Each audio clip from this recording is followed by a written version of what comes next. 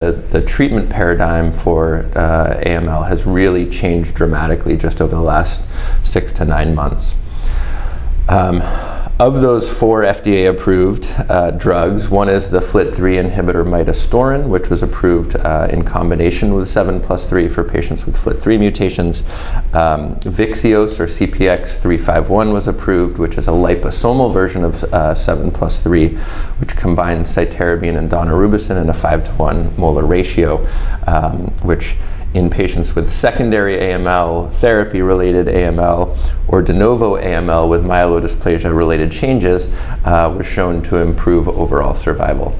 Um, and uh, overall survival was almost doubled for patients receiving um, uh, Vyxeos uh, relative to 7 plus 3.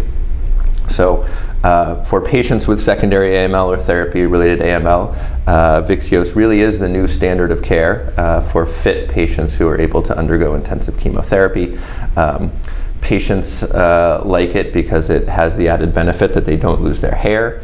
Um, uh, and um, it's much less toxic than standard 7 plus 3.